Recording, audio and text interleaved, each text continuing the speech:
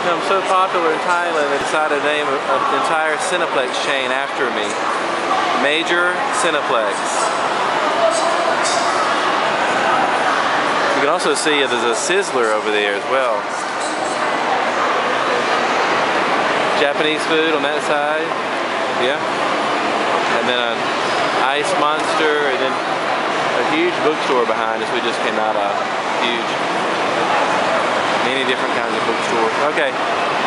This is a little mall near Kate's home. Little is Little ball. two or three times bigger than Asheville